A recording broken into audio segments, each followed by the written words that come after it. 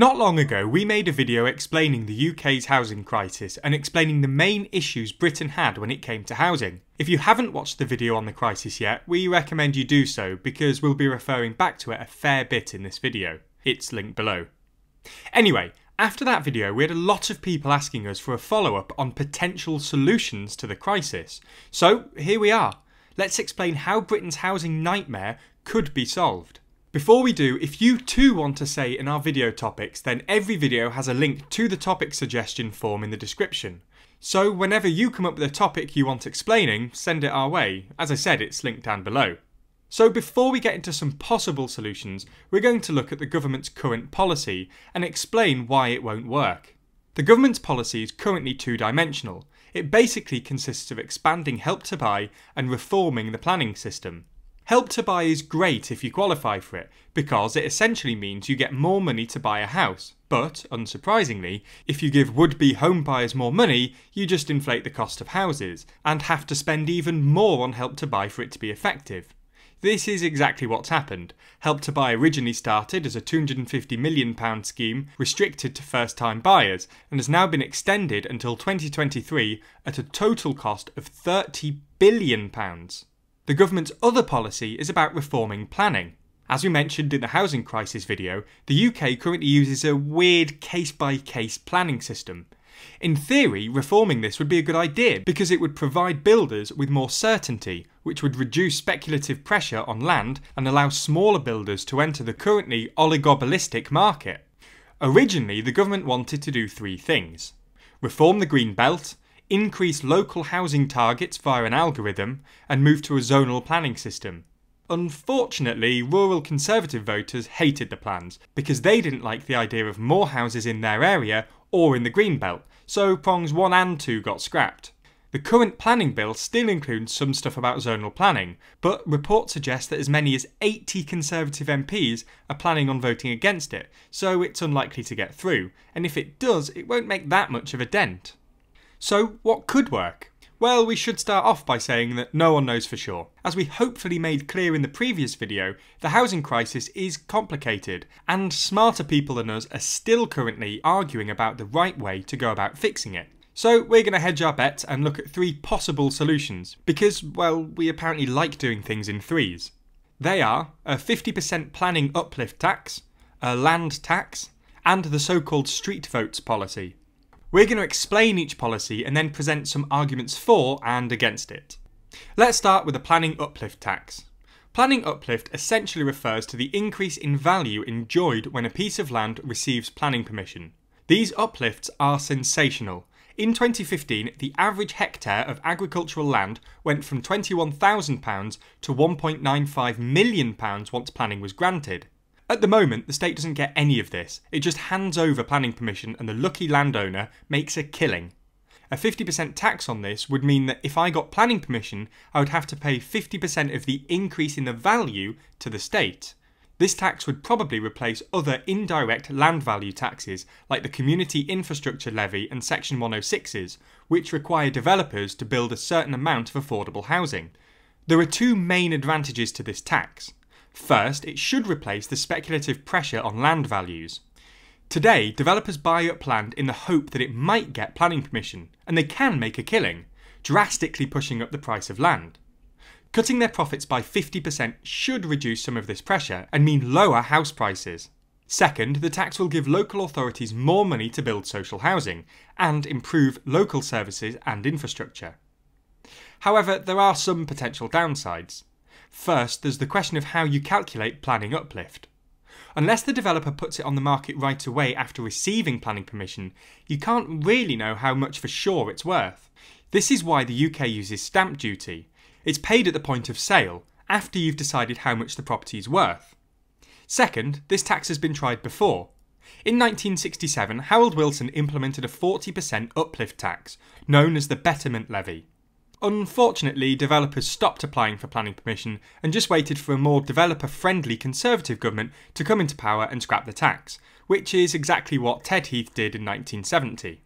In 1976, Callaghan introduced an 80% development land tax, but again in 1979, Thatcher scrapped it. Essentially, this tax doesn't work if developers know that a new Conservative government will come along and scrap it, because then they just wait it out. This actually means less houses get built and house prices increase even more. However, some Conservatives today, notably former housing ministers Nick Boles and Sajid Javid, have actually come out in favour of an uplift tax, which means that it might stand a chance of cross party support in the future. The second option is a land value tax. Economists have been talking about land value taxes since Henry George's Progress and Poverty was released in 1879, but they've never really caught on.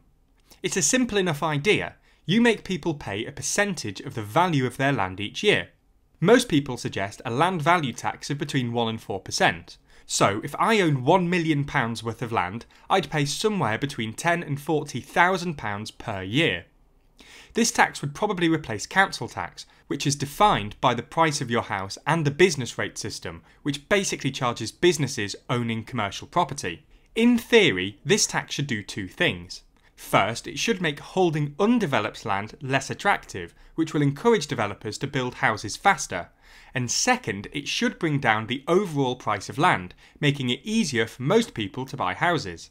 There are two main advantages to this tax it's efficient and it's fair.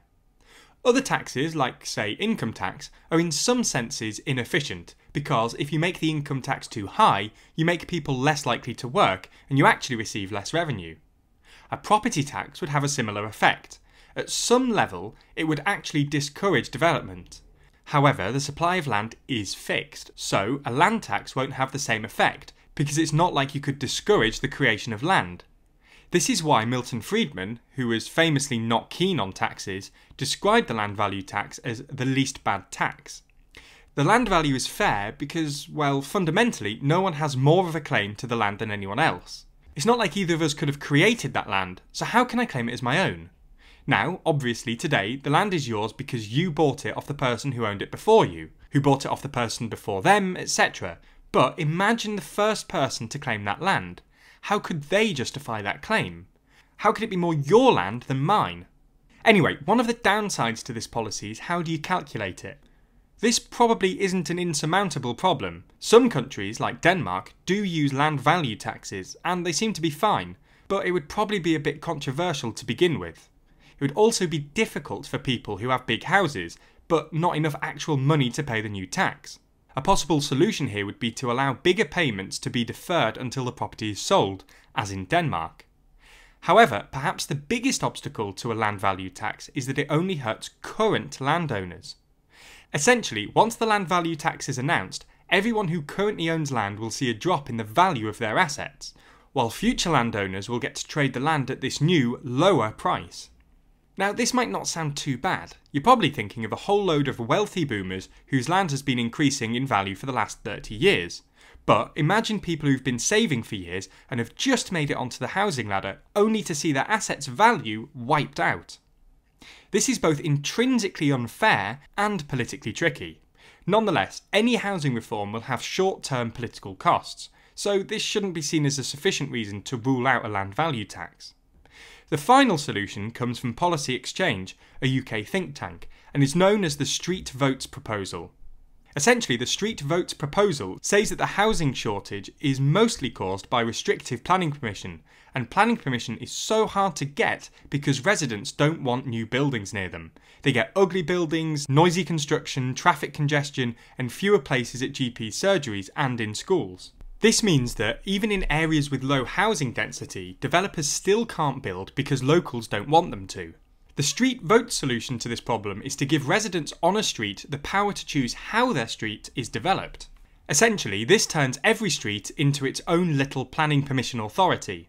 A proposal is submitted by 20% of the residents on the street or residents from 10 different houses, whichever's more.